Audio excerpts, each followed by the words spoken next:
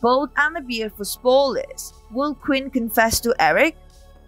Hey guys, welcome to our channel. For more updates on The Bold and the Beautiful, hit the subscribe button and to never miss a video, don't forget to hit the bell icon.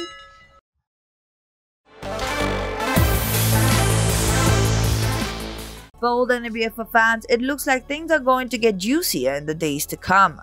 We all know how Quinn Forrester and Carter Walton ended up in bed, which came as a big surprise to all of us. And now Bold and spoilers say they will decide to keep their night of passion a secret, but will it work?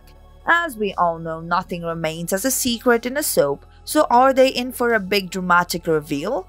Should Quinn come clean to her husband Eric Forrester before he finds out by himself, or should she remain quiet for the sake of their marriage? Quinn does not want to lose the relationship, and Carter does not want to mess up with the relationship he has with Eric and Ridge Forrester.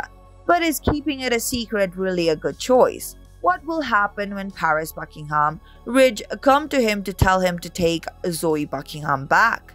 And is the thing between Carter and Quinn really just a one night thing in Bold and the Beautiful?